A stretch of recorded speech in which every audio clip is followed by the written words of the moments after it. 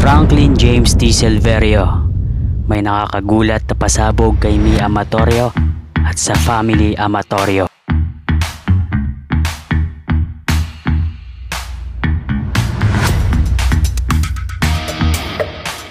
Siyempre bago natin umpisahan, mag-subscribe muna kayo dyan at pakihit ng notification bell button. Maraming salamat po. Please subscribe my channel and hit the notification bell button. Thank you mga boss.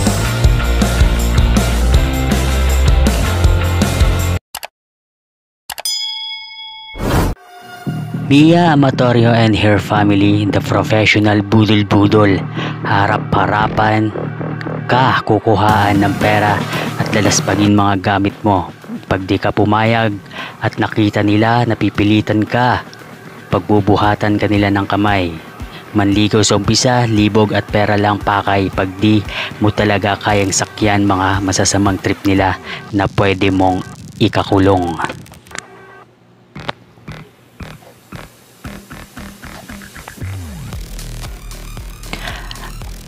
Ayon sa tanong ni Jam Jam, paano po nalaman na ganyan si Mia at family niya? Yan po ang tanong ni Jam Jam. Hindi sa judgmental, hehehe. Pero ako naman, kilatis ko dyan.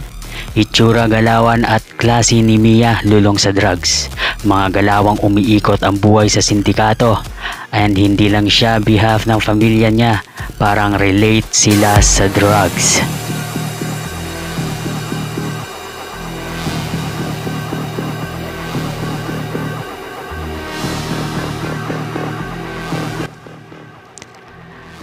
Tamad magtrabaho ng marangal. Check check. Di nila naisip palitan si Jiang mula nung malaman nila na ayaw niya mga gawain ni Mia. Pilit na sinuyo pa siya ni Poklay kahit umiwas na siya. Nakablock na sa Facebook.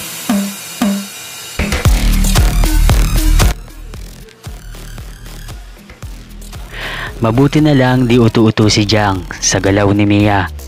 Pwedeng maging unang move na diskarte ay sirain ang samahan niya sa malalapit na kaibigan o utusan siya umutang ng pera at manghiram ng gamit. Sasabihin ni Mia, Jang, utang ka sa kaibigan mo para may pangpuhunan tayo sa negosyo tapos ibibigay kay Mia. Mag-aalibay siya to convince Jang umutang kung kani-kanino. Strategy para mawalan ng kakampi si Jiang.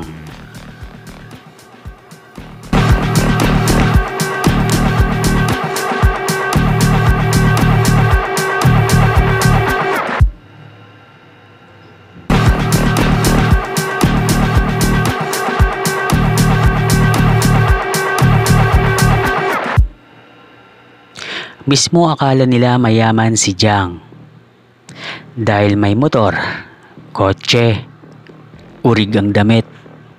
Sobrang bobo ni Poklay. Pumatol na lang sana siya sa makakasundo niya hustler. Personality para walang away at magbabawal sa lifestyle. Ay di pala kapatol-patol sa ibang babae o lalaki. Mahahalata modus niya di uubra sa taong hustler, bad girl. Pag nipulan niya, ano yung modus? Halimbawa nagpost si Jang selling motorcycle Mio Biglang hihirit ni Poklay, eto sabi niya, Jang, eto 15k, patago muna ha after a week. Nag-offer Poklay 15k sa motor. Then ayaw na tanggapin ni Poklay yung 15k nung ibinalik na ni Jang. Sagot ni Jang, Sorry, lugi ako sa 15k. Siya pa matapang. Ang demands ni Poklay, transfer sa kanya, pangalan ng motor at 5k. Siya pagalit. Nung di nauto si Jang, sa totoo lang, umugsa.